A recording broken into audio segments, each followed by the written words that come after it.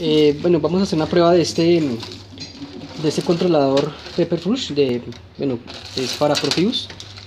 Y bueno y maneja otra, otra, parte de comunicación. El cliente lo envió porque bueno tenía un problema con el encendido. Y bueno sí efectivamente había un inconveniente en la parte electrónica lo que tenía que ver con la fuente. Entonces la vamos a energizar a 24 voltios. Entonces ahí está energizado a 24 voltios.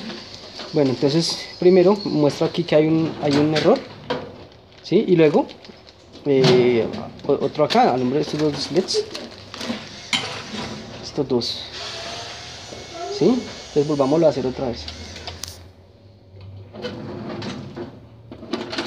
Entonces ahí. Entonces enciende el verde el rojo y, y luego el, el, amarillo. Bueno pues porque obviamente le, hacen falta la otra parte de acá la otra parte acá de la comunicación y eso no pues bueno bueno ya quedó listo ya quedó reparado